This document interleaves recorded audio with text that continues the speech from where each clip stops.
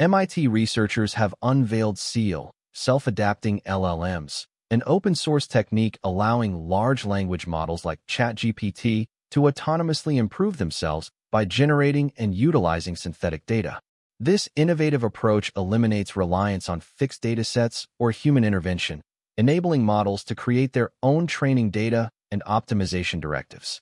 SEAL has demonstrated significant improvements in knowledge acquisition and few-shot learning, surpassing even GPT 4.1 in specific tasks by creating synthesized insights instead of directly using text. The dual-loop architecture, combining supervised fine-tuning and reinforcement learning, allows models to learn which self-edits are most beneficial for performance.